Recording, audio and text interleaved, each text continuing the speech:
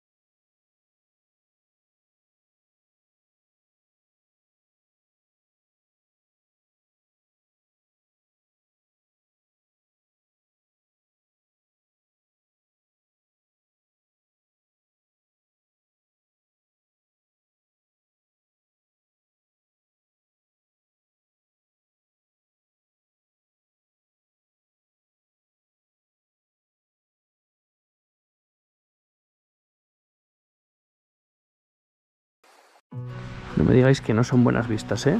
Por ejemplo, tomar aquí un mate con esta vista. ¿Os imagináis? Aquí yo, aquí mi novia argentina, esta vista y el mate. Hola Gaby. ¿Cómo vas? ¿Quieres un café? Vamos a por café. Every time I climb up your walls, me. I'm still standing here through it all. When know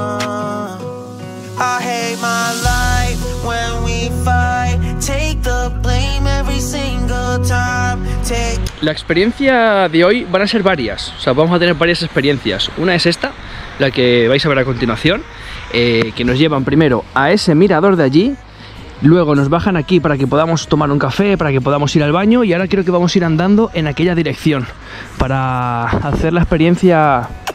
Mira cómo me sigue para hacer la experiencia del comer en las cuevas. Es una experiencia bastante bonita, la gente incluso que ha contratado esta experiencia eh, no sabe muy bien de qué va y yo sabéis por qué tampoco sabía muy bien de qué va, porque eh, me lo han organizado los de turismo de aquí, ¿vale? Que les quiero dar las gracias, voy a dejar sus redes sociales en la descripción. Están tratando genial, nada más llegar ya hemos tenido esta primera aventura, este, esta primera excursión. Quizás lo más ideal hubiera sido llegar y descansar un poco, porque no hemos dormido nada, pero igualmente está muy épica, pero muy épica. Ya para dormir tendremos esta noche que nos acostaremos prontos. Así que nos juntamos con el grupo otra vez y nos vamos. Punta Gualichu, ese es el nombre de la reserva. Fue bautizada con ese nombre por el explorador argentino Francisco Pascasio Moreno en el año 1877. Fíjense cuánto en el tiempo ha pasado en este lugar. Y se hacía esto, ¿no? El difunto iba en posición fetal, mirando hacia el este con todas sus, pertenencias, ¿no? Se creía que las pertenencias era porque las iban a usar en su próxima vida, ¿no? En la vida después de la muerte, y lo rodeaban con piedra para que no lo comieran los animales, ¿no? los zorros, los carroñeros, vinieran a hurgar en ese cuerpo. Bueno, el perito Moreno encuentra esto en una cueva, empieza a desarmar las, eh, piedras y se encuentra una mujer, una mujer en posición fetal con una pluma de cóndor atravesando su rostro. Él se la lleva, ¿no? como otras riquezas que iba juntando el perito Moreno en su viaje. Y está en Buenos Aires, la momia de Punta Gualicho, así es como se la conoce, en el Museo de Ciencias Naturales de La Plata. Mirad chicos, justamente aquí es el inicio de una audioguía que se puede descargar yo creo. Esta es la número uno, se va haciendo las cosas que te van marcando en el suelo para que tú escuches ese audioguía. Pero bueno, aquí nos están explicando todo. Eh, igualmente esto que acabamos de ver, el territorio indígena, esta es la número 27 por ejemplo. O sea que lo tienen así preparado para que la gente lo, lo pueda llegar a escuchar. Así que yo supongo que vamos a hacer este sendero y nos va a ir explicando lo que tenemos aquí alrededor.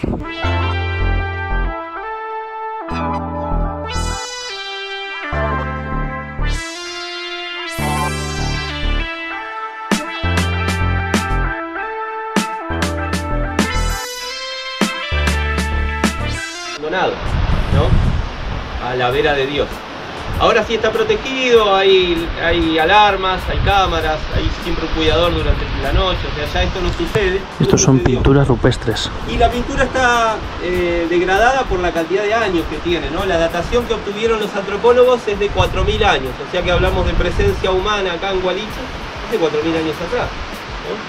Los humanos venían a este sector en invierno.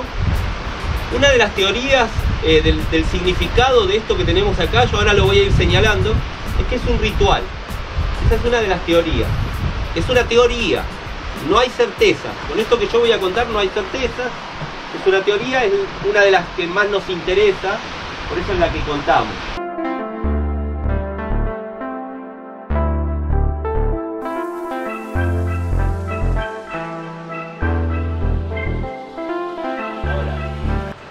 Que vamos a ver en la cueva pintado no tenemos mucha idea, porque son dibujos abstractos, ¿no?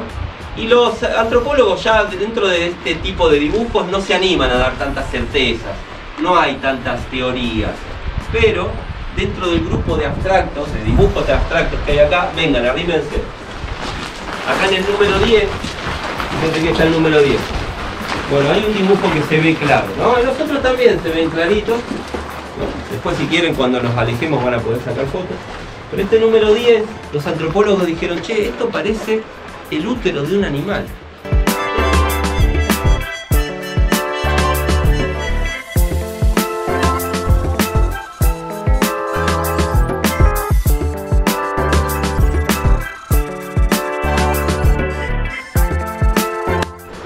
Vale, y fijaros dónde vamos a ir ahora.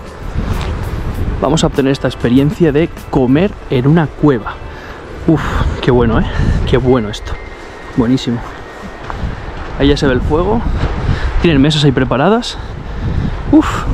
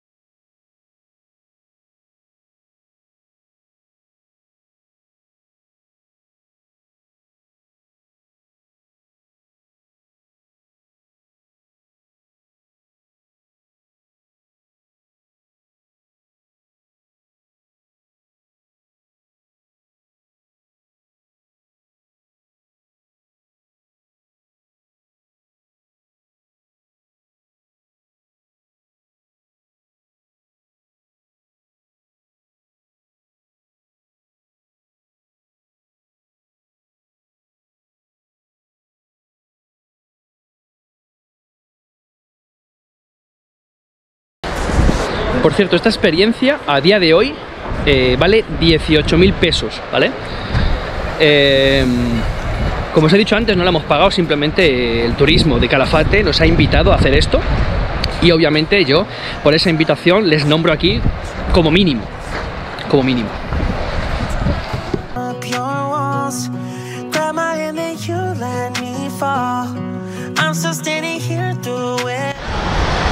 Por cierto, hablemos de temperatura. No hace tanto frío, aunque veis que me estoy tapando yo porque soy muy de ponerme malo por la garganta, si tengo frío en la garganta. Pero no hace frío, se está bien, ¿eh? Incluso mañana que vamos a ir al Perito Moreno, os he hecho spoiler del, si- del siguiente capítulo, eh, nos han dicho que tampoco va a hacer tanto frío. Así que muy bien. Aquí lo que te puede llegar a dar muchísimo frío es cuando hace mucho viento, que puede hacer ráfagas de hasta 100 kilómetros por hora. Imaginaos eso con 0 grados. Bueno chicos, con esto despedimos este capítulo, capítulo número 2 de Calafate, con estas vistas. Si queréis, me muevo hasta aquí para que me veáis mejor, con vistas muy buenas detrás. Primera experiencia que tenemos, primera vivencia, primera aventura. Ahora vamos a ir a otro sitio que va a ser el capítulo número 3. Pero me lo estoy pasando bastante bien. Tengo la gran suerte de que no ha llovido, que podía haber llovido. Si habéis seguido todos los capítulos anteriores de mi viaje y mi recorrido por Argentina, habréis visto que he tenido muy mala suerte con la lluvia. No ha hecho viento, cosa que es muy extraña, me han dicho ellos. Así que estoy agradecido. Buen capítulo este, yo creo. La experiencia de comer una cueva me ha gustado. Y nos vemos en el siguiente, que van a ser muchas más excursiones y muchas más experiencias. Hoy tendremos una más. Chao.